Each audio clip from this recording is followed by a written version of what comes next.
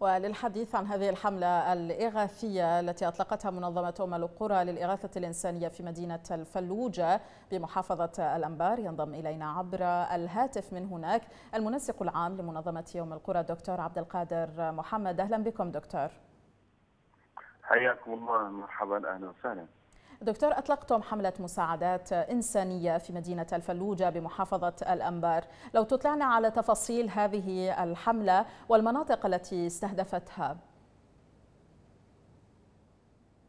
الحقيقة نظرا الظروف التي يمر بها البلد وهذه حظر التجوال هناك صعوبة تواجه كثير من العائلات في المدينة وفي مختلف المدن بالوصول إلى الأسواق وأيضا أغلب هذه العوائل من أصحاب الدخل المحدود حيث في المناطق الفقيرة هناك كثير من العائلات المتعففة يعني يحتاجون على آه، الأجور اليومية. فبسبب حظر التجوال تعطلت كثير من آه، حياة هؤلاء ومصدر رزقهم. ف بادرت المنظمة بتوفير مستلزمات غذائية آه، إلى هذه العائلات وإيصالها إلى إليهم في مناطقهم في آه، في منطقتين كانت في منطقة جبيل ومنطقه الشهداء. ضمن مرحلة أولى آه، لعدة مراحل إن شاء الله ستتلوها هناك. حملات نعم. أخرى لتأمين هذه المستلزمات الضرورية من المواد الغذائية التي يصعب على هذه العائلات تامينها في ظل هذه الظروف آه، الصعبة. وكذلك بعض المعقمات والمنظفات آه، التي يحتاجونها في مواجهة آه، مخاطر انتشار فيروس كورونا. نعم. فكانت منظمة مبادرة ومشاركه في ما يناسب الظرف القائم الآن. توفير هذه المستلزمات في هذه المناطق وتم توزيع 250 سله غذائية على العائلات الموجودة وإن شاء الله آه، ستكون لدينا أيضا هناك حملات أخرى نعم. في الأيام القادمة إن شاء الله. نعم، دكتور أشرتم إلى أن هذه الحملة تزامنت مع حظر التجوال وكذلك الحجر الصحي المفروض آه، في ظل انتشار فيروس كورونا. هل وجدتم صعوبات في توزيع هذه المساعدات والوصول إلى الأهالي هناك في ظل هذه الظروف الاستثنائية؟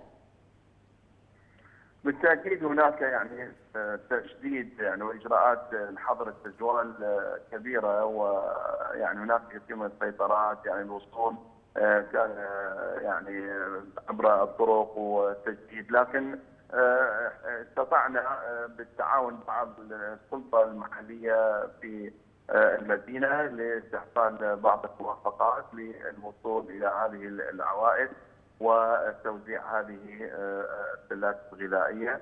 آه، هو يعني إجراءات حظر التجوال هي أهم عقبة كانت تواجهنا الانتقال من حي إلى حي بل من شارع إلى شارع. كثيرا ما تستوقفنا هذه السيطرات الأمنية التي هي تحاول أن تفرض حظر التجوال آه، على المواطنين وتحد من حركتهم تحسبا لمخاطر انتشار الفيروس كورونا. نعم.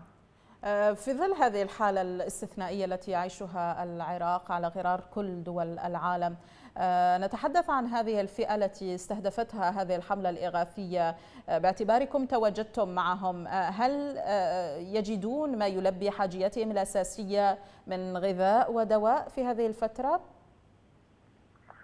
بالتاكيد هم يعني آه، يعني هذه الفترة كلما طالت فترة بقائهم وانقطاع عنهم آه، يعني أكيد ستنفذ آه، مواد الغذائية التي ربما هيئوها أو خزنوها في بيوتهم لم يحسبوا حساب يعني لمدة طويلة كان هي الاجراءات المعلن عنها لمدة أسبوع ثم نعم.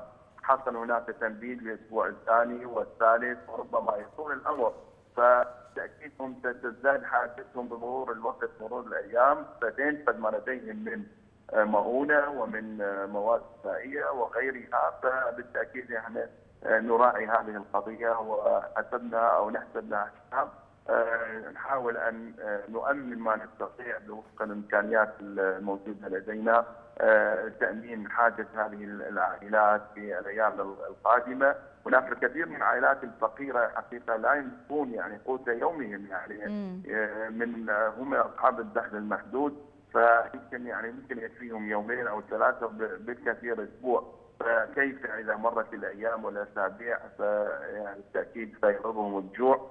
ويحتاجون إلى من يقف معهم ويساندهم في آه هذه الظروف الصعبة. وندعو كثير من آه الأخوة الميسوري الحال والمنظمات إلى النشاط آه الآن ليس فقط في مخيمات النزوح بل حتى في المدن والقرى كثير من هؤلاء العائلات الفقيرة يحتاج إلى دعم، يحتاج إلى توفير مواد غذائية، أيضا هناك شحه في المواد الغذائية وصعوبة الوصول والحصول عليها، هذا هو ما يدفع يعني الكثير إلى المناشدة وطلب الدعم والمساعدة في هذه الظروف الصعبة. شكرا جزيلا لكم المنسق العام لمنظمة أم القرى للإغاثة الإنسانية. دكتور عبد القادر محمد كنت معنا عبر الهاتف من الأنبار.